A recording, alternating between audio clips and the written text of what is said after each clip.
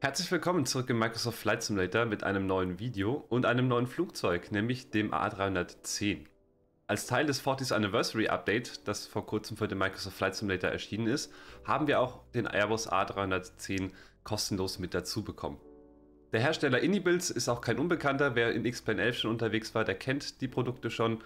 Und jetzt hat dieses Produkt eben auch den Einzug in den Microsoft Flight Simulator gefunden und mit dem Herunterladen des Updates bekommt er diesen Flieger auch automatisch bei euch im Sim zur Verfügung gestellt.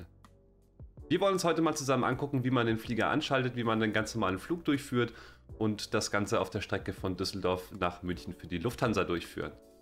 Wer schon den A320 und die Airbus-Philosophie kennt und auch vielleicht schon die 737 kennt, der wird einen relativ einfachen Einstieg in den A310 finden, dadurch, dass die Airbus-Philosophie eben auch hier schon verbaut ist und so ein bisschen manueller ist der Flieger noch, sagen wir es einfach mal so. Und das kennen wir dann auch unter anderem schon aus der 737. Für alle, die diese Flugzeuge noch nicht kennen, das ist auch gar kein Problem. Das Video sollte euch trotzdem ganz gut helfen, in den Sim einzusteigen und in den A310 einzusteigen. Aber alle, die die Flieger davor schon kennen, haben eben ein bisschen einen Vorteil, weil sie bestimmte Sachen einfach wiedererkennen können. Dann lasst uns gar nicht weiter rumschnacken und dann hüpfen wir ins Cockpit und dann schauen wir uns an, wie wir den Flug vorbereiten. Im Cockpit angekommen, fällt uns zuerst mal auf, dass das erstmal nicht so viel mit dem klassischen Airbus, wie wir ihn zum Beispiel im 320 kennen, zu tun hat. Das liegt einfach daran, dass der A310 noch mal ein Stückchen älter ist und dadurch auch noch sehr, sehr viele Rundinstrumente hat. Wenn wir uns jetzt aber gleich mal so ein bisschen im Flieger umschauen, dann werden wir wirklich viele Sachen auch wiedererkennen. Es schaut halt vielleicht nur auf den ersten Blick ein bisschen anders aus, weil das meiste halt eben noch alte klassische Rundinstrumente sind. Das Schöne ist, wir haben auch hier im Inibills A310 ein Tablet mitgeliefert, über das wir dann später sehr viel steuern können. Da haben wir eine Checkliste drauf, da können wir verschiedene Einstellungen vornehmen, können unsere Departure Performance ausrechnen und so weiter. Dem widmen wir uns aber gleich. Ihr seht, das Flugzeug ist an sich noch im Cold and Dark. Wir schauen uns einmal ganz kurz um. Wir schauen, dass unsere Triebwerke ausgeschaltet sind, die Parkbremse ist gesetzt, Schubhebel sind auch auf Idle, das Fahrwerk ist unten und die Scheibenwischer, die Wiper sind auch ausgeschalten. Das ist so ein klassisches Ding, das checkt man immer einmal beim Airbus, weil man möchte nicht, wenn man den Flieger einschaltet, dass dann plötzlich eventuell sogar die Triebwerke starten. Um den Flieger jetzt einzuschalten, begeben wir uns einmal hier ins Overhead-Panel und das sieht für einen Airbus-Liebhaber erstmal super unübersichtlich aus.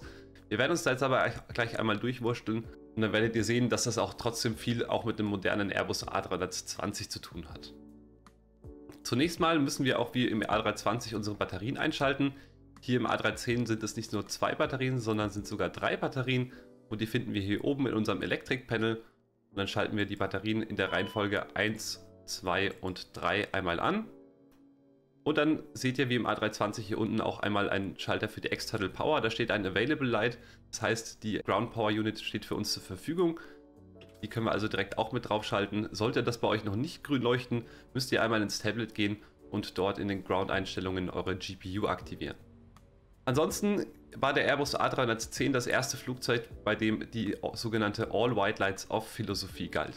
Das heißt, ganz generell, man macht alle weißen Lichter aus und im Flug sollten im Overhead Panel im Optimalfall keine Lichter leuchten, nur leuchtende Lichter deuten auf Systeme hin, die fehlerhaft sind. Damit unser Flugzeug jetzt gleich erstmal weiß, wo es ist, gehen wir hier ganz in die oberste Leiste unseres Overhead Panels. Dort finden wir unsere Inertial Reference Systems, die Trägheitsnavigationseinrichtungen des Flugzeuges. Und das ist wie im A320 auch. Wir haben hier auf der linken Seite das System 1. Das schalten wir zuerst auf NAV. Dann haben wir auf der rechten Seite das Zweier-System. Das schalten wir als nächstes auf NAV. Und als drittes das hier in der Mitte auch einmal auf NAV. Damit gehen die Systeme jetzt in den Align-Mode und der Flieger braucht jetzt so ungefähr 8 bis 10 Minuten, um einmal herauszufinden, wo er gerade steht. Dann gehen wir ganz normal von oben links nach unten rechts durch unser Overhead-Panel und das ist hier so schön in verschiedene Bereiche aufgeteilt. Als erstes kommen hier die Spoiler und Speedbrakes, da haben wir aktuell noch ein paar Fault Lights, ist aber auch ganz normal, weil die Hydraulik ja noch nicht funktioniert, also funktionieren auch unsere Steuerflächen aktuell noch nicht. Hier können wir über die Fault Lights einmal alle hinweg sehen. Dann kommt unser Hydraulic Panel, auch da haben wir noch aktuell Fault Lights logischerweise oder Low Pressure Lights besser gesagt, weil auch auf den Hydrauliksystemen aktuell noch kein Druck drauf ist. Und dann haben wir hier unten einmal Einstellungen für die Lichter und können auch hier schon mal die Seatbelt Signs anschalten und die No Smoking Signs auf Auto stellen.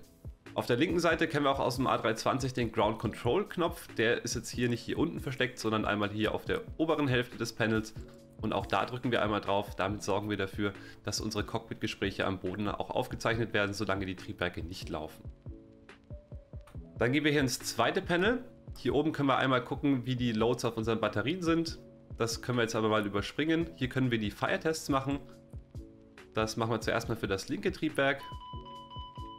Wenn wir schon dabei sind, machen wir das gleich auch noch einmal für die APU mit. Auch das funktioniert wunderbar. Und für das Engine 2, die Fire Protection, testen wir auch noch einmal. Ihr seht, das Licht leuchtet, es bimmelt und genauso soll das auch sein. Wichtig ist vor allem, diese Fire-Tests zu machen, bevor man die jeweilige Einheit startet. Das heißt, auch wenn man keine Ground Power zur Verfügung hat und direkt die APU startet, muss man auf jeden Fall vorher diesen Fire-Test machen, dass das Flugzeug einen eben auch warnt, sollte ein Feuer vorhanden sein. Dann gehen wir weiter durch das Panel. Hier sind alle Lichter aus. Hier seht ihr unser Electric-Panel. Das kommt uns auch schon relativ gut aus dem Airbus A320 bekannt vor. Und dann seht ihr hier unten noch ein paar Faultlights an den Generatoren. Auch das ist normal. Triebwerke laufen ja noch nicht.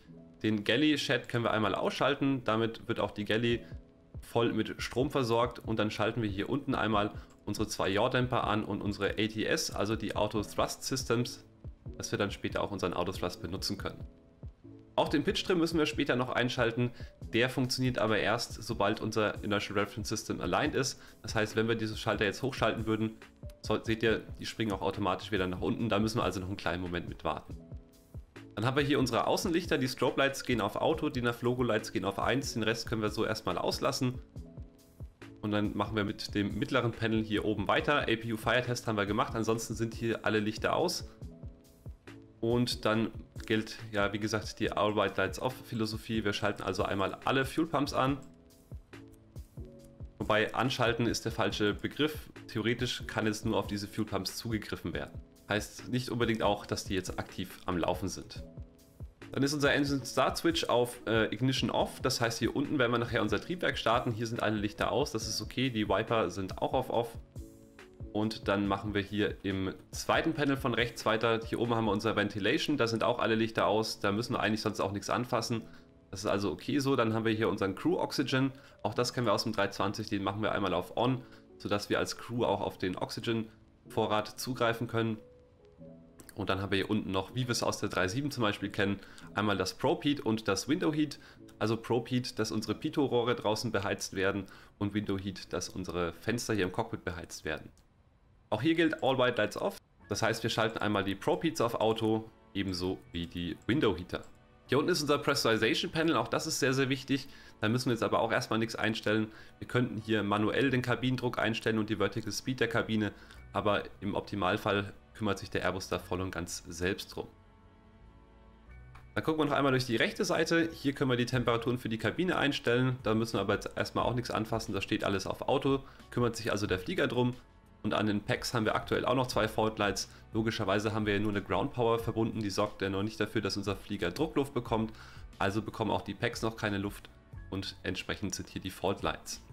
Hier unten können wir die Bleed dann noch einstellen, können auch später unsere APU Bleed mit dazu nehmen. Da müssen wir jetzt aber erstmal soweit auch nichts anfassen. Und dann sind wir mit unserem ersten Flow im Overhead fertig.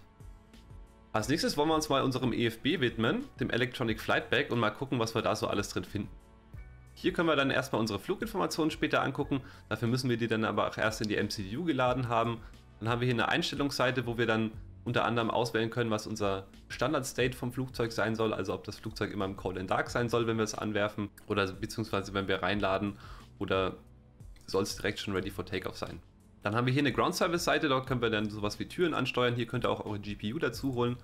Haben eine Checkliste, der widmen wir uns dann später und dann hier eine sehr, sehr schöne Seite, um unsere Departure Performance auszurechnen. Das machen wir gleich. Als erstes kümmern wir uns aber erstmal darum, dass wir hier unsere Gewichte in den Flieger eingeben. Und jetzt habt ihr hier unten die Möglichkeit, einmal die Passagieranzahl festzulegen, einmal die Cargoanzahl festzulegen und einmal den Fuel festzulegen. Und dafür müsst ihr einfach nur in euren Flugplan von Simbrief gucken. Da stehen dann die ganzen Informationen drinnen. Für unseren Flug heute haben wir 177 Passagiere geplant. Das heißt, bei Passagieren bei Pax wählen wir einmal 177 aus. Cargo nehmen wir 4,4 Tonnen mit. Auch den Slider drehen wir also einmal auf 4,4 hoch. Und Sprit für den Flug sollen wir mitnehmen 10,2 Tonnen. Da sich 10,1 Tonnen so ein bisschen schlecht einstellen lässt, nehmen wir einfach 10,4 Tonnen mit. Wir wollen ja immer auf der konservativen Seite rechnen. Also haben wir dann halt 200 Kilo mehr als geplant dabei.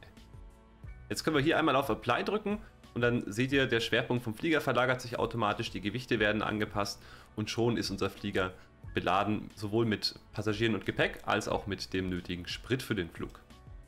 Das können wir hier unten dann noch gleich einmal bestätigen, indem wir uns hier unserem ICAM widmen.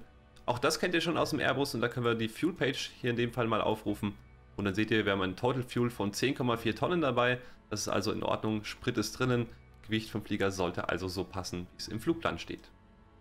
Dann haben wir hier, wie aus dem Airbus A320 bekannt, erstmal unsere Data-Seite. Dort gucken wir, ob wir die richtigen Triebwerke hinterlegt haben und ob unsere Database auch aktuell ist. Beides ist hier der Fall.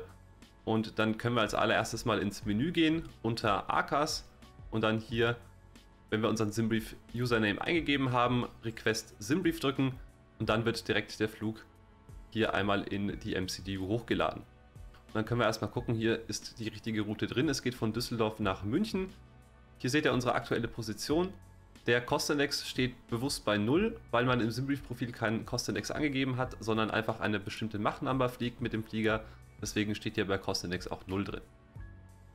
Hier klicken wir jetzt auf Align IRS. Damit wird dann unser Flugzeug auch final aligned, sobald die IRS ready sind. Und hier unten geben wir noch unsere Flugnummer ein. Das ist heute die Lufthansa 2 Alpha Charlie. Ansonsten kommt einem so im Großen und Ganzen die MCDU schon bekannt vor wie aus dem 320 oder 330. Aber dadurch, dass das Modell noch mal ein bisschen älter ist, sind doch auch noch einige Unterschiede, die man hier finden kann. Was für den Anfang immer nicht schlecht ist, wenn man einmal hier auf ATIS geht und sich ein Wetter für den Departure Airport holt, dann kann man nämlich schon mal ganz gut einschätzen, was man da gleich als Departure Runway und als SID eingeben muss. In unserem Fall haben wir jetzt in Düsseldorf einen Wind aus 150 Grad mit 7 Knoten. Es wird also wahrscheinlich die 2-3 Left für den Takeoff geben. Wind ist ein bisschen variabel zwischen 120 Grad und 180 Grad. Clouds Visibility okay bei 13 Grad und einem QNH von 1031.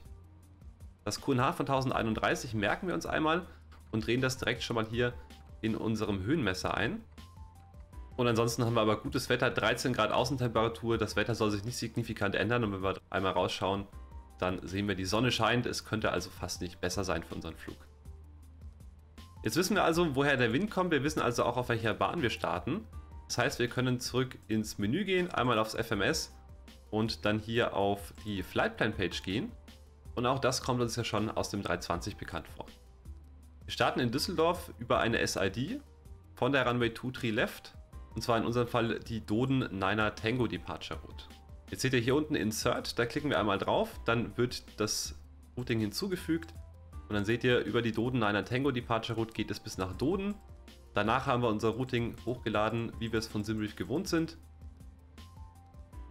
Und dann endet das Routing bei Rokiel und dann kommt München. In München möchten wir auch auf eine Arrival, nämlich auf die Rokiel One Alpha Arrival. Für die Runway 08 Left. Und das Ganze dann auch gerne über die Rokiel 08 Transition. Jetzt haben wir so ein bisschen doppelt gemoppelt. Wir haben sowohl die Transition als auch die Arrival drin. Leider funktioniert es aktuell noch nicht anders. Man muss also aktuell noch sowohl Arrival als auch Transition eingeben, ansonsten kommt hier dieser Insert-Knopf nicht. Normalerweise würde man die Rokiel One Alpha Arrival weglassen, weil man sonst gleich zwei Arrivals hintereinander drin hat. Das zeige ich euch einmal. Ihr seht, unsere Rokiel One Alpha Arrival würde uns von Rokiel nach Mike India Quebec führen und danach würde das Routing wieder zurück nach Rokiel gehen und dann auf die Transition. Das ist leider noch so ein kleiner Fehler, der wird wahrscheinlich demnächst dann auch noch behoben. Aber für den Moment löschen wir einfach einmal die Arrival zwischendrin nochmal raus, dass wir die Wegpunkte eben nicht doppelt drin haben. Löschen auch die Discontinuity raus und jetzt haben wir eine ganz normale Transition für den Anflug. Dann geht es von Magat aus auf das ILS 08 Left, auch das schaut gut aus. Und dann können wir schon mal die Gewichte vom Flieger eingeben. Dafür gehen wir zurück auf die Init-Seite und können dann hier unten auf Next Page klicken, kommen dann hier auf die uns bekannte Init Bravo Seite wo wir dann einmal den Blockfuel eingeben, 10,4 Tonnen. Unser Zero Fuel Weight, das finden wir auch hier nochmal in unserer Mass and Balance Seite, 98.726 Kilogramm. Das heißt, wir rechnen es konservativ, wir haben einen Zero Fuel Weight also von 98,8. Das geben wir hier ein. Das Takeoff Gross Weight wird uns dann automatisch angezeigt, weil der Flieger weiß ja also, was er ohne Sprit wiegt und was er an Sprit noch oben drauf rechnet, so kommt er dann auf das Takeoff Gross Weight. Unser Landing Weight wird etwas über 100 Tonnen später noch sein und das CG finden wir auch hier drüben. Nämlich ist das bei 26,0 in unserem Fall. Auch das geben wir noch einmal ein. Und dann hat der Flieger alle Gewichte, die er dann später braucht. Was wir ihm jetzt noch einmal sagen ist, wie viel von unserem mitgenommenen Sprit ist für Alternate mit dabei. Das finden wir jetzt nicht hier in unserem EFB, sondern da müssen wir auch noch einmal in unseren Flugplan gucken. Und in unserem Fall ist unser Alternate heute der Flughafen Leipzig. Und wenn wir dahin fliegen wollen, müssten wir 3,3 Tonnen mitnehmen. Das heißt, unser Alternate Fuel sind 3,3. Und damit weiß der Flieger jetzt also, ich brauche so und so viel Sprit fürs Taxi, ich brauche so und so viel Sprit für den eigentlichen Flug, ich habe so und so viel Reserve noch dabei, so und so viel Alternate Fuel und daraus kann er dann auch errechnen, wie viel extra Sprit er noch dabei hat. Als nächstes gehen wir auf die Takeoff Approach Seite, da können wir nämlich jetzt unsere Takeoff Performance ausrechnen. Und dafür gehen wir wieder zurück in unser EFB. Da können wir nämlich jetzt hier einmal auf das Flugzeugsymbol klicken und können dann hier jetzt eingeben, wie unsere Bedingungen sind, was unser Flugzeug aktuell für Parameter hat und äh, dann sagt uns das Tool wiederum, mit welchen Geschwindigkeiten wir später starten. Wir starten auf der Runway 23 Left von Lima 2, das heißt wir haben eine Takeoff Runway Available von 2500 Metern, das findet ihr immer in euren Karten. Unsere Bahn ist trocken, das Heading unserer Bahn sind 232 Grad. Auch das müssen wir einmal eingeben, ebenso wie den aktuellen Wind. Wir hatten gesagt, in Düsseldorf haben wir Wind aus 150 Grad mit 7 Knoten bei einer aktuellen Außentemperatur von 13 Grad und einem QNH von 1031. Damit sind die Wetterinformationen schon mal drinnen. Jetzt müssen wir noch die Gewichte vom Flieger einmal eingeben. Unser Tool hat uns ja vorhin gesagt, wir haben einen Takeoff Gross Weight von 108,8 Tonnen hier können wir die Flaps und Slats auswählen. Da würde ich einfach erstmal 15 und 0 ausprobieren. Wenn das gut funktioniert, dann ist das die optimale Einstellung. Ansonsten kann man dann hier auch noch 15, 15 auswählen. Das heißt Slats auf 15 und Flaps auf 15 oder sogar beides auf 20 stellen, ist dann für sehr kurze Bahnen. Ich denke hier in Düsseldorf mit 2500 Metern sollte Slats 15 und Flaps 0 eigentlich eine ganz gute Einstellung sein. Was es damit dann genau auf sich hat, gucken wir uns später auch noch gemeinsam an. NTIs ist off, Air Conditioning lassen wir gerne auf On und dann können wir hier auf Calculate drücken und dann rechnet uns der Flieger eine Performance aus und ihr seht, wir können mit 59 Grad Flex starten unsere Takeoff Speeds sind 135 und 135 und 154. Das heißt, wir können die 135 als V1 und 135 als VR hier schon einmal eingeben und unsere V2 seht ihr, da stehen jetzt noch 100 Knoten und in Klammern FCU dabei. Das heißt also, wir können den Wert für die V2 nicht hier in die MCDU eingeben, sondern wir drehen unsere Speed hier oben bei unserer Indicated Airspeed ein.